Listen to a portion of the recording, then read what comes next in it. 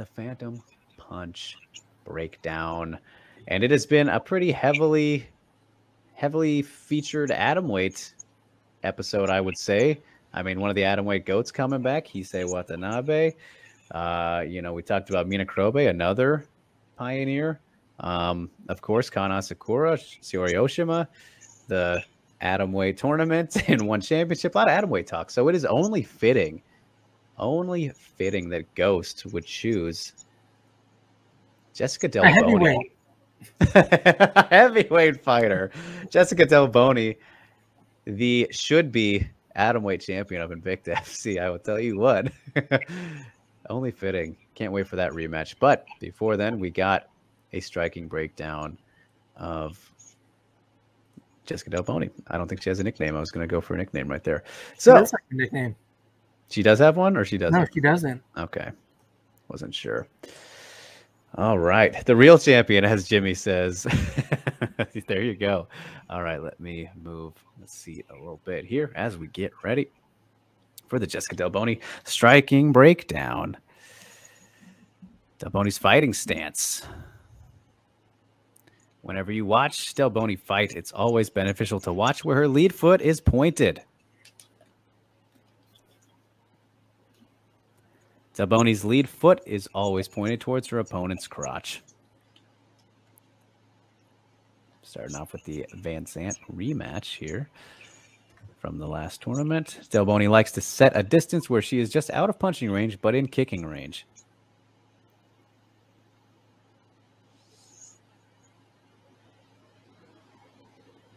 Delboni is able to retract her lead leg via hip swivel. She is able to see the inside low kick coming due to the distance she establishes with her stance.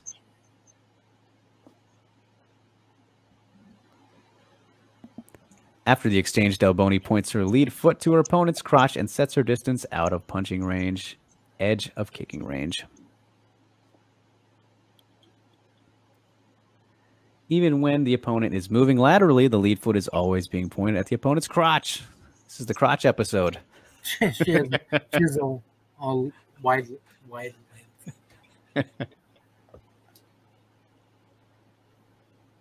Again, distance is set out of punching range, but at the edge of kicking range.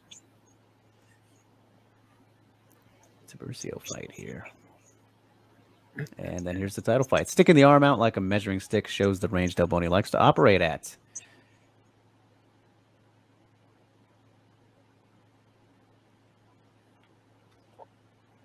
The stance in the distance she sets gives her comfort entering him at mid range, danger zone for both fighters due to her vision and balance. So full speed here in the Zappitella fight, the controversial Zappitella fight. Invites hand fight. Opponent is focused on her rear hand fight, but doesn't realize that Delboni is loading her lead hand. Yeah, she got clipped a few times Mhm. fight. Smack. An opponent reaches for a hand fight that was never that never came. El Del Del pushes off her rear foot to land an up jab. Yeah, incredibly fucking. That's It was the, practically the story of that fight. yeah. Plus leg kicks. Delboni uses a straight arm post while in neutral stance as a measuring tool for the increased distance. Very nicely done there. Opponent's position is weak due to neutral stance. Delboni puts lead post down as soon as she sets a distance she's comfortable at.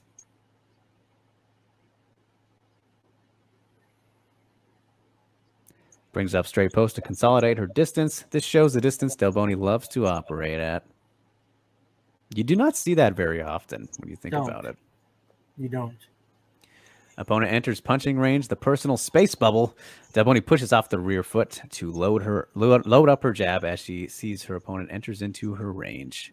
But you also don't see a lot of the way that Alesha Zappitella strikes. She's Yeah. very awkward. That is true. Uh, as lead up jab lands, Delboni pushes off the lead leg to prepare her exit.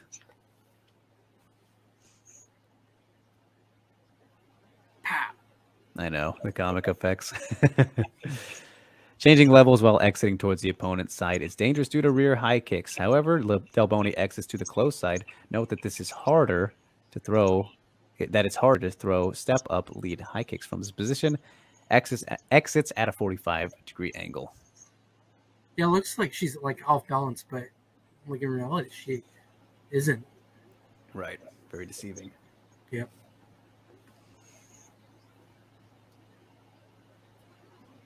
She's so good. Oh yeah.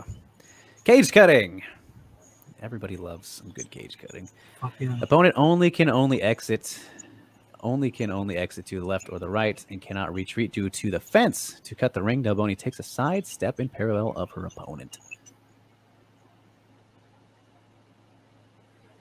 Smack.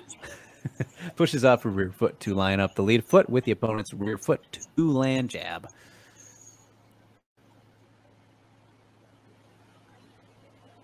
As opponent circles out, Delboni steps back in a neutral stance to widen the distance and line up in parallel to track the opponent.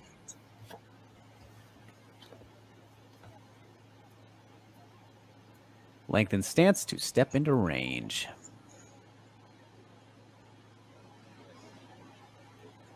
Neutral stance to track opponent and get out of range.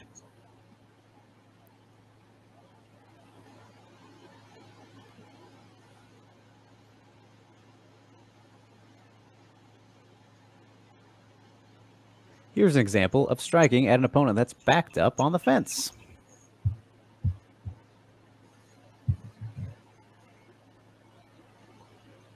Opponent's position is weak since she is neutral and readjusting to the distance. Prepares lead hand attack down the center line. Lands jab on neck slash chest area. Crazy. Right hand right behind it. Good lord. Beauty. Who the, who the hell who the hell throws a jab at somebody's neck, lands and then comes comes fucking straight straight power. Like she, uh, Jessica Delboni, damn it. She made Alesha Zappitella look really bad in this fight. Yeah, quick reaction time allows Delboni to land a cross counter by slipping the rear straight towards the inside.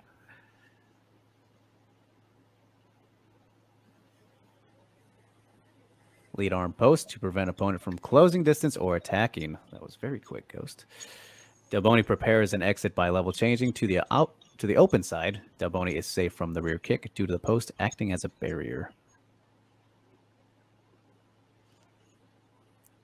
And as the slow mo. Step up inside low kick. Oh, you know it was coming. you know it was coming. Step up inside low kick. Yes, Delboni's moneymaker. She can use it on the lead or on the counter. Delboni pointing her lead foot towards the opponent's crotch shortens her distance from her lead foot to travel for the low kick. Less telegraph. Here we are against Messer Valencia in that atomweight uh, Phoenix tournament. Lead hand flashes as Delboni swings her rear leg up, which makes the opponent high guard. Delboni also swings the rear arm as a counterbalance, which sacrifices defense but acts as a counterbalance that speeds up her lead leg. Lands the inside low kick as an opponent throws. Lead hand that doesn't land because low kick caused the opponent to square up. Reacts to the opponent's wild rear hook by posting lead arm and Leaning straight back in a squared stance, this type of reaction time from close range requires speed and vision.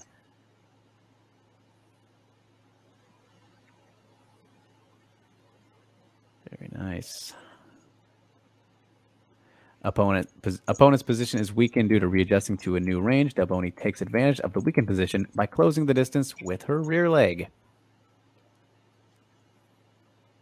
Lands a beautiful inside low kick while the opponent had all the weight on the lead leg.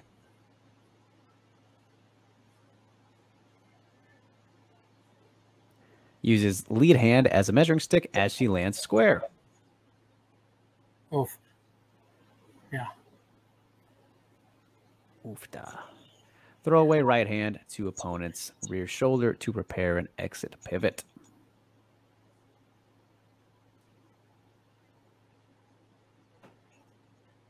Her stance. Just Just like we saw in the beginning, lead foot is pointed to the crotch and distance set outside punching range, edge of kicking range.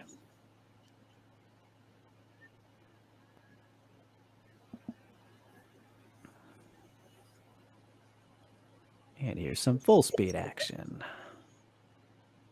Let's that leg kick. Throw away jab to measure distance and close in on opponents toward uh, close in on opponent towards fence. This is the title fight again. Yep.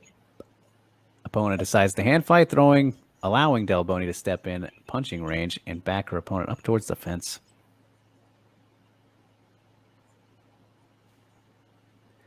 There is a time and place for looping hand looping overhand shots and shouldn't be used as a label for non-technical fighters. Stepping lead leg towards rear leg prevents opponent from circling left. Looping overhand prevents opponent from circling right. The best time for the overhand is to throw it while the opponent is backed up on the fence and has been cut off. This prevents you from overextending due to the opponent's limited space. So many things. Delboni's overhand lands on opponent's guard to off balance the opponent and force the opponent's weight to fall on the rear foot. Opponent transfers weight on the lead foot to regain balance. Delboni steps up and swings rear arm for a fast and powerful inside low kick. Powerful step up inside low kick lands. It's powerful due to Delboni's hips turning over and her foot pivoting. Playing soccer. After Delboni lands, she gets out of range and points her lead foot back to the opponent's crotch. Of course, it all goes back to the crotch.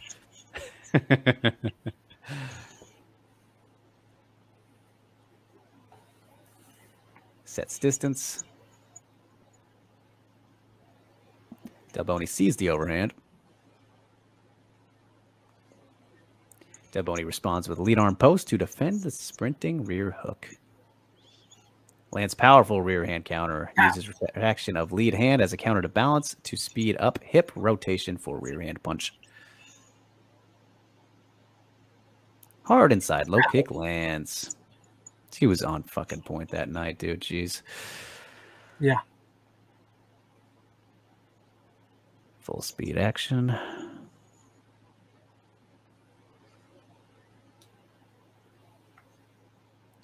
Shorten stance by bringing up the rear foot to make it seem like Delboni's parked, out of punching and kicking range.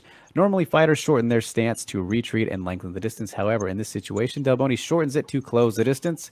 This tactic, short term goal, is quite dangerous since a fighter cannot slip, roll, weave, or pivot due to feet being so close together. Delboni lengthens her stance at the same to prepare a lead hand flasher.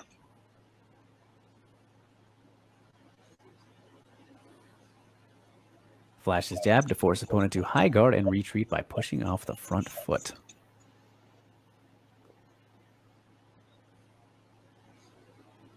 Delboni pivots her rear foot and swings her lead arm down to turn her hip over to land a solid inside low kick. Incredible. Delboni sees the opponent attacking from a far distance. Delboni retracts her lead leg as opponent tries to lead to land switch step inside low kick. Well, Just out of range. Opponent's a midget too. So opponent is under five feet tall. Uh, Delboni reestablishes her favorable distance.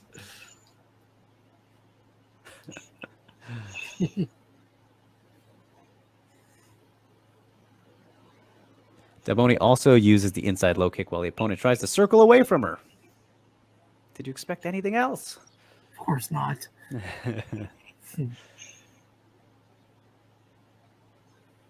Trailing leg and the post leg, and the yellow and the green. Look how little her legs I are. know, man. Inside low kick from close stance is a good. Hold on, let's go back there. Is a good short. Is a good tactic, short-term goal to use when the opponent is circling towards the lead foot. Targeting the trailing leg is an intelligent strategy, long-term plan against fighters who use lateral movement because they have to abandon their stance to use lateral movement. A fighter cannot attack when in neutral stance.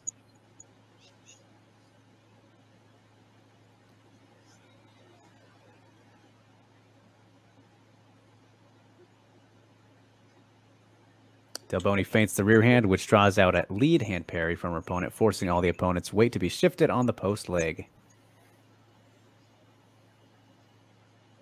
The hard inside low kick on post leg lands, causes opponent to roll ankle. Ooh, good, good, good catch there, Ghost.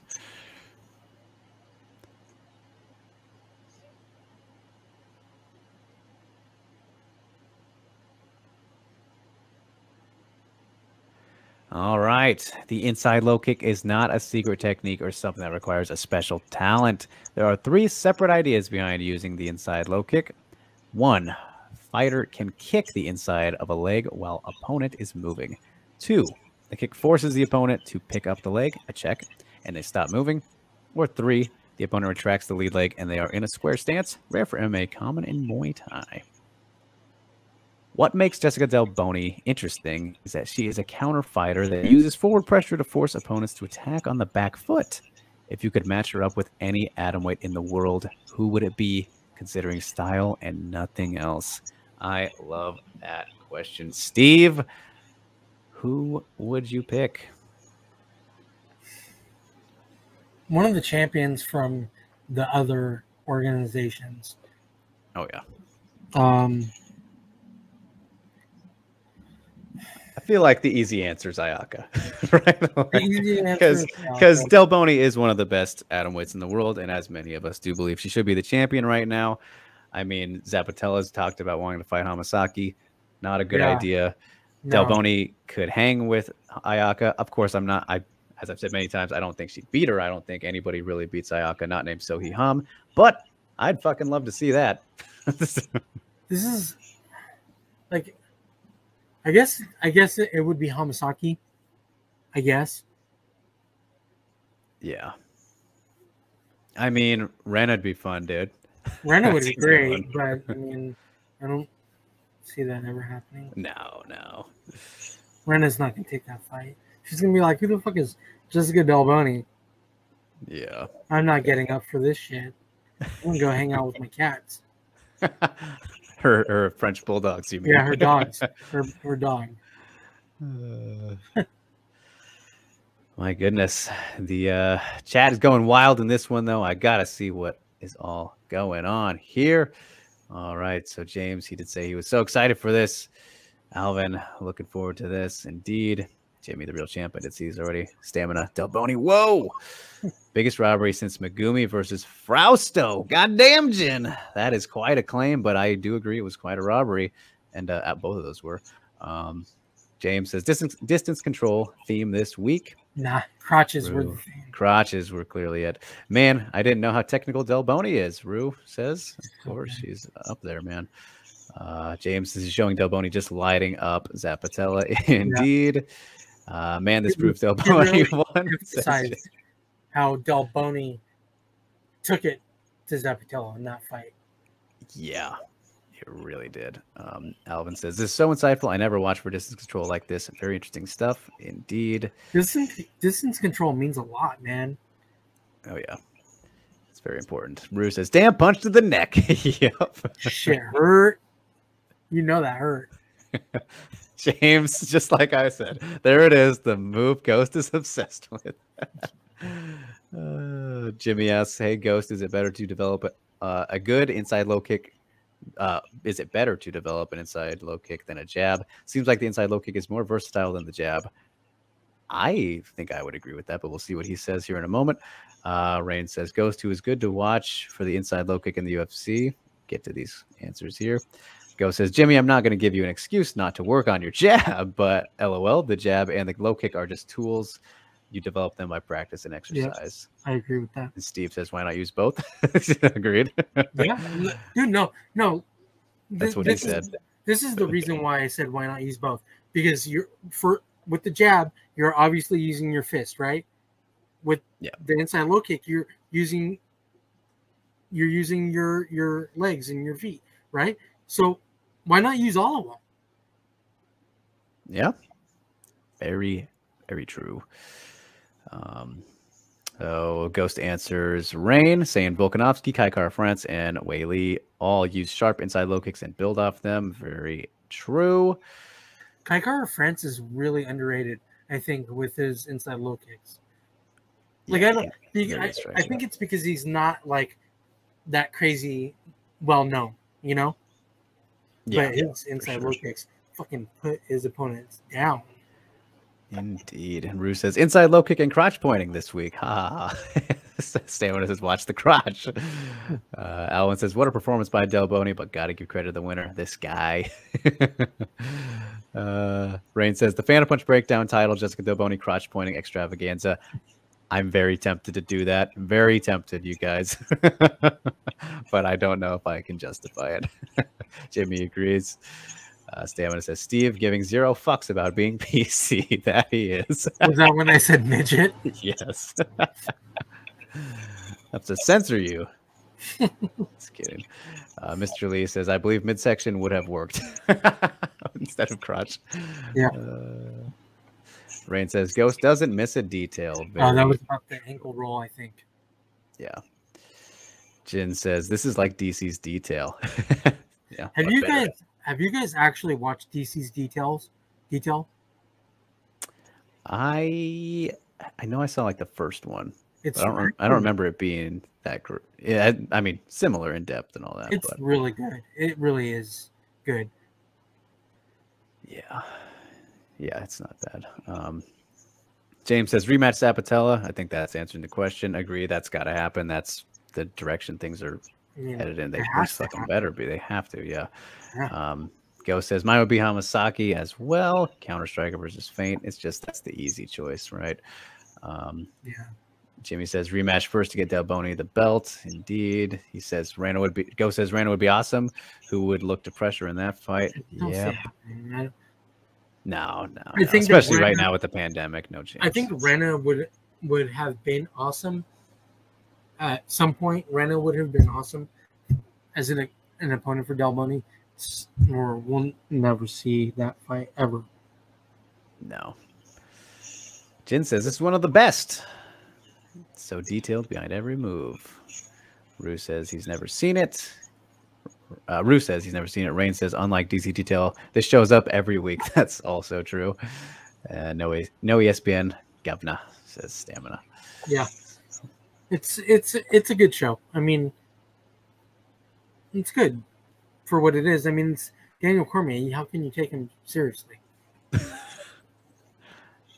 And we'll leave it at that. Banner Punch Breakdown, number 12. That was a very, very good one. I enjoyed that a lot. Thank you so was. much, Ghost Phantom. As always, you are the man. Now I'm very eager to see that rematch ASAP. I know they Yeah. they wanted to do it. What month is it? October? They wanted to do it like last month, according to Delboni, but when's the next Invicta show? They're still working on their things. Jeez. Yeesh. Either way,